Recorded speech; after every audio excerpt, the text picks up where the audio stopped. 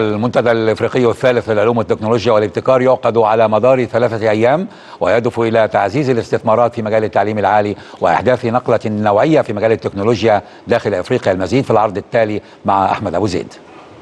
المنتدى الإفريقي الثالث للعلوم والتكنولوجيا والابتكار في دورته الثالثة والذي يقام للمرة الأولى في مصر تحت عنوان استخدام أدوات البحث العلمي والتكنولوجيا والابتكار لتعظيم الاستفادة من الموارد الطبيعية في القارة الأفريقية وانعكاسها على اقتصادات القارة. عن أهداف هذا المنتدى فالمنتدى والذي كما أسلفنا يعقد للمرة الأولى في مصر يهدف إلى تعزيز الاستثمارات في مجال التعليم العالي والبحث العلمي بهدف الوصول إلى اقتصاد قائم على المعرفة بشكل كامل وذلك بغيه تعظيم الاستفادة من الموارد الإفريقية المتاحة وما أكثرها فضلا عن إحداث نقلة نوعية في مجال العلوم والتكنولوجيا والإبداع وفقا للأجندة المعلنة من قبل الاتحاد الإفريقي لأهداف التنمية المستدامة لعام 2063 أما عن المحاور التي يتناولها هذا المنتدى فيأتي من بين أهم هذه المحاور نظم العلوم والتكنولوجيا والإبداع والحوكمة والتنسيق. والتي تتعلق بإنشاء نظم إبداع قومية قوية للتصنيع ترتبط بسياسات التنمية الوطنية.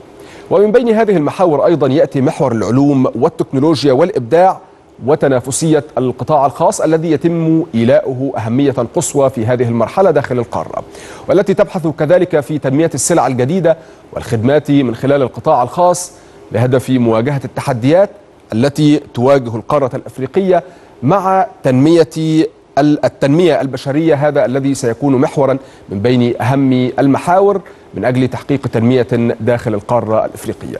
من المتوقع أن ينتهي المنتدى إلى عدة نتائج وسيخلص من خلالها إلى بعض التوصيات. وضع أطر تهدف إلى تحسين المعرفة في العلوم والتكنولوجيا داخل القارة الإفريقية. فضلا عن رفع الوعي حول دور العلوم والتكنولوجيا والإبداع. ومساهمتها في تنافسية القطاع الخاص في القارة الإفريقية وكذلك تعزيز الشراكة بين القطاعين العام والخاص في التكنولوجيا والإبداع.